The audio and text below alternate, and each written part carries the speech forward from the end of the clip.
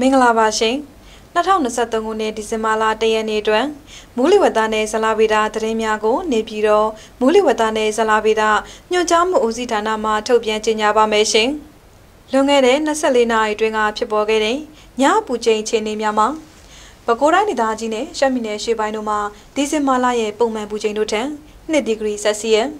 AR တိုင်းဒေသကြီး ရခိုင်ပြည်နယ်မကွေးတိုင်းဒေသကြီးမန္တလေးတိုင်းဒေသကြီးစကိုင်းတိုင်းဒေသကြီးအောက်ပိုင်းရှမ်းပြည်နယ်မြောက်ပိုင်းနဲ့မွန်ပြည်နယ်တို့မှာဒီဇင်ဘာလရဲ့ပုံမှန်ပူချိန်တို့ထက်3ဒီဂရီဆက်စီယပ်မှ4ဒီဂရီဆက်စီယပ်အထိနဲ့ရှမ်းပြည်နယ်တောင်ပိုင်းနဲ့နေပြည်တော်တို့မှာဒီဇင်ဘာလရဲ့ပုံမှန်ပူချိန်တို့ထက်5ဒီဂရီဆက်စီယပ်မှ6ဒီဂရီဆက်စီယပ်အထိပိုခဲ့ကကချင်ပြည်နယ်စကိုင်းတိုင်းဒေသကြီးထပ်ပိုင်းချင်းပြည်နယ်ရန်ကုန်တိုင်းဒေသကြီး ကယားပြည်နယ်ကရင်ပြည်နယ်နဲ့တနင်္သာရီတိုင်းဒေသကြီးတို့မှာဒီဇင်ဘာလရဲ့ပုံမှန်ပူချိန်ခန့်သာရှိခဲ့ပါတယ်။မြို့လိုက်ထိုးကြတဲ့ညပူချိန်အခြေအနေများမှာဟာခါမြို့မှာ4ဒီဂရီဆက်စီယံတိတိမ်မြို့မှာ8ဒီဂရီဆက်စီယံတွန်းဆန်မြို့မှာ9ဒီဂရီဆက်စီယံနဲ့ပူတာအုံမြို့နဲ့မိုင်ယန်မြို့တို့မှာ10ဒီဂရီဆက်စီယံစီတို့ဖြစ်ကြပါတယ်။မှတ်သားဝယ်ရမိုးရေချိန်မှာကော့တောင်မြို့မှာ3.1နှစ်လက်မှတိုင်းထွာရရှိခဲ့ပါတယ်။ ဒီကနေ့နေ့လယ်တနာရီခွဲအချိန်မိုးလေဝသကြိုးတူမှာဖမ်းရရှိတဲ့ပုံရကပ်ပလီပင်လယ်ပြင်နဲ့ဘင်္ဂလားပင်လယ်ကိုမြောက်ပိုင်းတို့မှာတိမ်တင်တင်ဖြစ်ထွန်းနေပြီးကြံဘင်္ဂလားပင်လယ်အော်မှာတိမ်ထူထပ်နေပါတယ်မြန်မာနိုင်ငံပေါ်မှာကတော့မြန်မာနိုင်ငံအရှေ့ပိုင်းအလယ်ပိုင်းနဲ့တောင်ပိုင်းစွန်းဒေသတွေမှာတိမ်တင်တင်မှာတိမ်ထူထပ်နေပြီးကြံဒေသတွေမှာတိမ်နှင်းငယ်မှာတိမ်တင်တင်ဖြစ်ထွန်းနေရကိုတွေ့ရပါတယ်ဒီကနေ့မြေပြင်မိုးလေဝသအခြေအနေပြပုံရ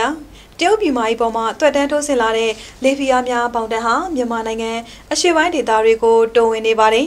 ။အခုမြင်တွေ့နေရတဲ့ပုံကတော့မုံတိုင်းငယ်လမ်းကြောင်းပြမြေပုံပဲဖြစ်ပါတယ်။ဒီကနေ့မြန်မာစံတော်ချိန်7:30နာရီချိန်တိုင်းထွာချက်များအရဘင်္ဂလားပင်လယ်အရှေ့တောင်ပိုင်းနဲ့ရင်းနဲ့ဆက်ဆက်လျက်ရှိတဲ့ဘင်္ဂလားပင်လယ်အနောက်တောင်ပိုင်းတို့မှာဖြစ်ပေါ်နေတဲ့မုန်တိုင်းငယ်ဟာဆက်လက်တည်ရှိနေပါတယ်။အဆိုပါမုန်တိုင်းငယ်ဟာအနောက်နောက်မြောက်ဘက်သို့ဆက်လက်ရွေ့လျားနိုင်ပြီး 2ရက်12လ2023ရက်နေ့မှာအကောင့်တဲ့မုံတိုင်းငယ်ဖြစ်သူ၎င်း3ရက်12လ2023ရက်နေ့မှာဘင်္ဂလားပင်လယ်အနောက်တောင်ပိုင်း၌ဆိုင်ကလုန်းမုန်တိုင်းဖြစ်သူ၎င်းအကောင့်လာနိုင်ပါတယ်။ထို့မှာတစဉ်အနောက်မြောက်ဘက်သို့ရွေ့လျားနိုင်က4ရက်12လ2023ရက်နေ့မှာအိန္ဒိယနိုင်ငံအင်နာဘရာဒေတောင်ပိုင်းကန်ချင်းနဲ့ရစ်နယ်ဆက်ဆက်လျက်ရှိတဲ့ တမိနာဒူမြောက်ပိုင်းကန်ကြီးတို့ကိုချစ်နိုင်မျိုးနဲ့မချီလီပတနန်မျိုးတို့ကြားမှာဖျက်ကျော်နိုင်တယ်လို့ခန့်မှန်းရပါတယ်။ဘင်္ဂလားပင်လယ်ော်ချင်းဒီမှာကပ်ပလီပင်လယ်ပြင်နဲ့ဘင်္ဂလားပင်လယ်ော်မြောက်ပိုင်းတို့မှာတိမ်တင်တင်ဖြစ်တော်နေပြီးကြံဘင်္ဂလားပင်လယ်ော်မှာတိမ်ထူထပ်နေပါတယ်။မြမပင်လယ်ပြင်မှာ မြမကဲဦးရတဲ့ရှောင်းနဲ့ကန့်လုံပင်လယ်ပြင်တို့မှာတခါတရံမိုးသက်လေပြင်းများကြာရောက်ပြီးလှိုင်တင်တင်မှာလိုက်ကြည့်နိုင်ပါတယ်။မိုးသက်လေပြင်းကြစဉ်ရေပြင်းမြေပြင်းလေဟာတနအီကိုမိုင်30မှ35မိုင်ထိတိုက်ခတ်နိုင်ပါတယ်။လှိုင်မြမမြမကဲဦးရတဲ့ရှောင်းနဲ့ကန့်လုံပင်လယ်ပြင်တို့မှာ6ပေမှ9ပေခန့်ရှိနိုင်ပါတယ်။မနက်ဖြန်မနက်ထိခံမှန်းချက်များအနေနဲ့ကတော့တနင်္သာရီတိုင်းဒေသကြီးမှာနေရာကျကျနေရခိုင်ပြည်နယ်မကွေးတိုင်းဒေသကြီး နေပြည်တော်မန္တလေးတိုင်းဒေသကြီးရှမ်းပြည်နယ်ကယားပြည်နယ်ပဲခူးတိုင်းဒေသကြီးရှမ်းကုန်းတိုင်းဒေသကြီးအေရရီတိုင်းဒေသကြီးကရင်ပြည်နယ်နဲ့မွန်ပြည်နယ်တို့မှာနေရာကွက်ကြားမိုးနှဲငယ်ထချုံရွာပြီးကချင်ပြည်နယ်စကိုင်းတိုင်းဒေသကြီးနဲ့ချင်းပြည်နယ်တို့မှာတိမ်တင်တင်ဖြစ်ထွန်းပါမယ်အခုဆက်လက်ပြီးမနက်ဖြန်အတွက်တိုင်းဒေသကြီးနဲ့ပြည်နယ်များရဲ့မြို့ကြီးများအလိုက်ဖြစ်ပေါ်နိုင်တဲ့မိုးလေဝသနဲ့ဇလာဗေဒခံမှန်းချက်များကိုတင်ပြပါမယ်ရှင်။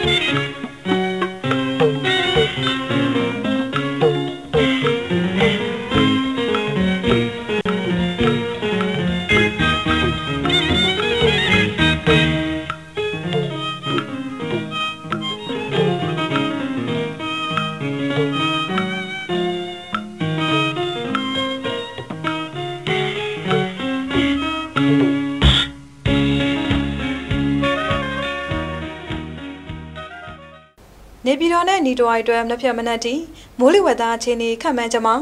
နေရာကွက်ကြားမိုးနှင်းငယ်ထချုံရွာနိုင်ပါတယ်အနိမ့်ဆုံးမူချိန်မှာ22ဒီဂရီဆက်စီယပ်82ဒီဂရီဖာရင်ဟိုက်နဲ့အမြင့်ဆုံးမူချိန်မှာ31ဒီဂရီဆက်စီယပ်88ဒီဂရီဖာရင်ဟိုက်ရှိနိုင်ပါတယ်။ရန်ကုန်မြို့နယ်အနီးတစ်ဝိုင်းအတွက်မနက်ဖြန်မနက်ထိ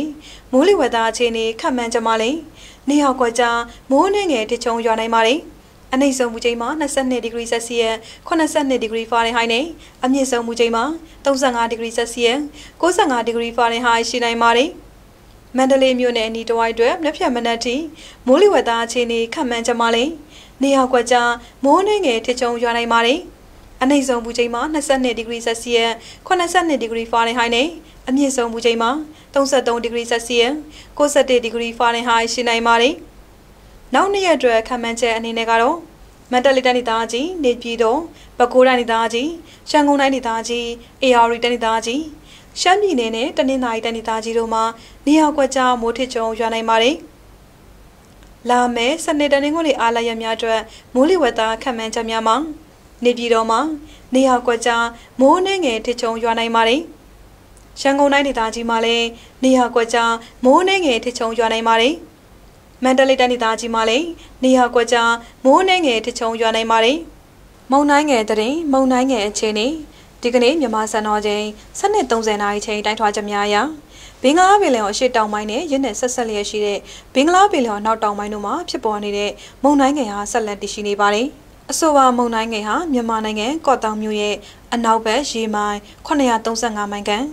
ကိုကိုကျွန်းမြို့ရဲ့အနောက်နောက်တောင်ဘက်ရေမိုင်915မိုင်ခန့် အိန္ဒိယနိုင်ငံပူရူချယ်ရီမြို့ရဲ့အရှေ့အရှေ့တောင်ဘက်ရေမိုင်410မိုင်ခန့်ချင်းနိုင်မြို့ရဲ့အရှိအရှိတောင်ဘက်ရေမိုင်415မိုင်ခန့်ဘာပလာမြို့ရဲ့အရှိတောင်ဘက်ရေမိုင်920မိုင်ခန့်နဲ့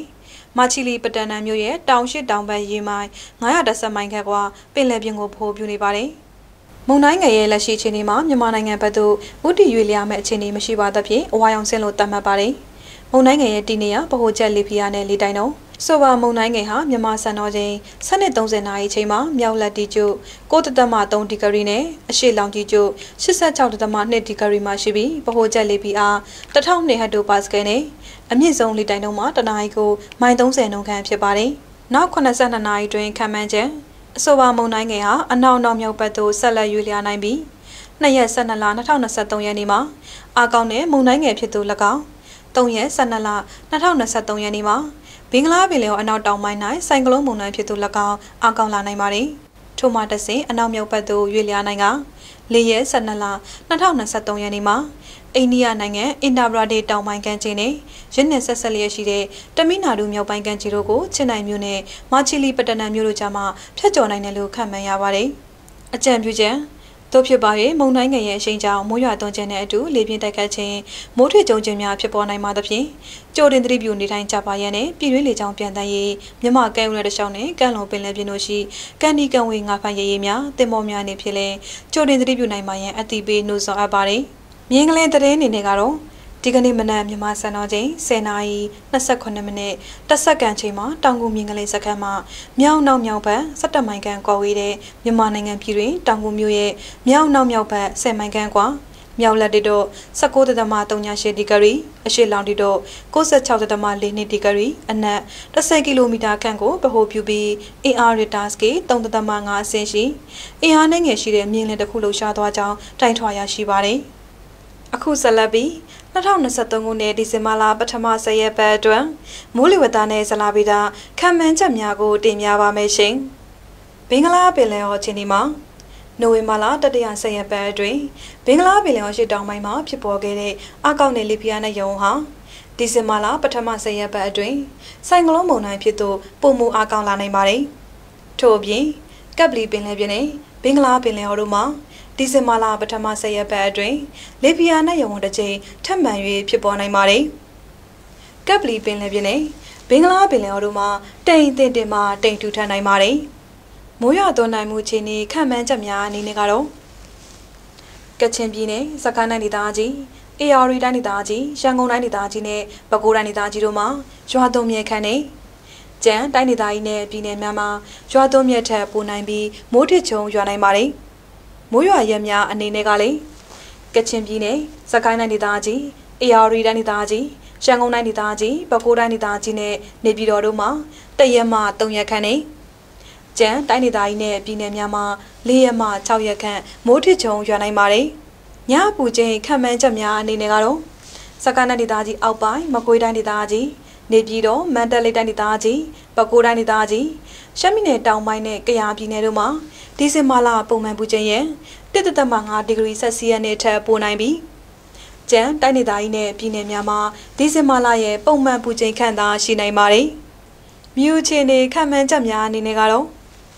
စကိုင်းတိုင်းဒေသကြီးအောက်ပိုင်းမကွေးတိုင်းဒေသကြီး မန္တလေးတိုင်းဒေသကြီးနေပြည်တော်ပဲခူးတိုင်းဒေသကြီးရန်ကုန်တိုင်းဒေသကြီးနဲ့အေရရီတိုင်းဒေသကြီးတို့မှာတရက်မှ၄ရက်ခန့်နေကျန်တိုင်းဒေသကြီးနဲ့ပြည်နယ်များမှာ9ရက်မှ9ရက်ခန့်နနက်ပိုင်းမှာမြူထူများဆိုင်နိုင်ပါတယ်။မြည့်ရည်ချင်းနေခံမှန်းချက်များအနေနဲ့ကတော့ 2023ခုနှစ်ဒီဇင်ဘာလပထမ10ရက်ပတ်အတွင်း AR မြေဟာမြစ်ကြီးနားမြို့ဗမော်မြို့ရွှေကူမြို့ကတားမြို့တပိတ်ချင်းမြို့မန္တလေးမြို့စကိုင်းမြို့နဲ့မြင်းမူမြို့တို့မှာပေဝက်မှတပေခန့်ပခုတ်ကူမြို့ညာဦးမြို့6မြို့မင်းဘူးမြို့မကွေးမြို့အောင်လန်းမြို့ပြည်မြို့စိတ်သားမြို့ဟင်္ဒရာမြို့နဲ့ဇလွန်မြို့တို့မှာတပေမှ2ပေခန့်လက်ရှိရမန်များအောင်ကျဆင်းလာနိုင်ပါတယ်။ ချင်းတွင်မြေဟာခန်းဒီမြို့ဟုံမလင်းမြို့ဖောင်ပြင်းမြို့မော်လိုက်မြို့ကလေးဝါမြို့မင်းကင်းမြို့ကဏီမြို့နဲ့မုံရွာမြို့တို့မှာပေဝက်မှတပေခွဲခန့်လက်ရှိရမန်များအောင်ကျဆင်းလာနိုင်ပါတယ်။မြစ်တာမြေဟာကလေးမြို့မှာတပေခန့်ဒုထရီမြေဟာတီဘောမြို့ရွှေစာရန်နဲ့မြင့်ငယ်မြို့တို့မှာပေဝက်မှတပေခန့် စစ်တောင်းမြေဟာတောင်ကူမြို့နယ်မတောင်မြို့တို့မှာပေဝက်မှတပေခန့်ရွှေကျင်မြေဟာရွှေကျင်မြို့မှာပေဝက်ခန့်ပဲခူးမြေဟာဇောင်းတူမြို့နယ်ပဲခူးမြို့တို့မှာပေဝက်မှတပေခန့်တန်လွင်မြေဟာဖအံမြို့မှာတပေခန့်တောင်ရင်မြေဟာမြရီမြို့မှာပေဝက်ခန့်ငဝုံမြေဟာငတိုင်းချောင်းမြို့တာပေါင်းမြို့နဲ့ပသိမ်မြို့တို့မှာပေဝက်မှတပေခွဲခန့်တွုံးမြေဟာမအူပင်မြို့မှာတပေခန့် ကလတန်မြေဟာပလဝမြို့နဲ့ကြောက်တော်မြို့တို့မှာပေဝက်ခန့်စီလေးမြို့မြေဟာမြောက်ဦးမြို့မှာပေဝက်ခန့်နဲ့ဘီလင်းမြေဟာဘီလင်းမြို့မှာတပေခန့်လက်ရှိရမန်များအောင်ကျဆင်းလာနိုင်ပါတယ်။အခုတင်ပြခဲ့တာကတော့ဒီကနေ့မိုးလနနာရီချင်းထုတ်ပြန်တဲ့မိုးလေဝသနဲ့ဇလာဗီတာသတင်းများနဲ့ဒီဇင်ဘာလပထမ10ရက်ပတ်အတွင်းမိုးလေဝသနဲ့ဇလာဗီတာခံမှန်းချက်များပဲဖြစ်ပါတယ်။ကိုစိတ်နှပြချမ်းမာချမ်းသာကြပါစေရှင်။